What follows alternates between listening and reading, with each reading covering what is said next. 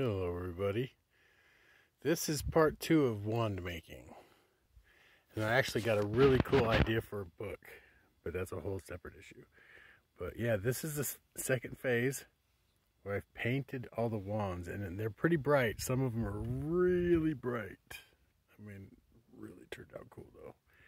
All of these are metallic paints and actually the ends of them actually have some glitter. I got crazy with it. This is part, you know, if you've seen my paintings, you know I get pretty bright and playful.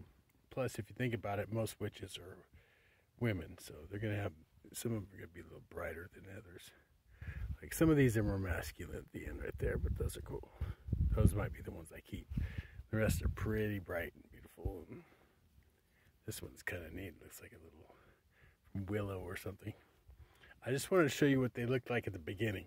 This is what they were, just pieces of firewood when I was making kindling. And I was like, I just was trying to think about it because I saw the knots in them. And I said, I just wanted to do something creative with them. So I just kept all these pieces.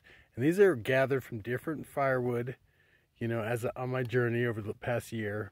And I love how they're all the same length pretty much. So, it's like the perfect length for a wand. It's just, you know, it is what it is. I'm having fun. But anyway, that's it. Just wanted to update on that. The next phase and final phase will be to gloss them. So there gives them more coating and protection. So it makes them last longer and they're a little more durable. Especially the, the thinner ones. They're really delicate. Anyway, I love you. Have a wonderful day. Goodbye.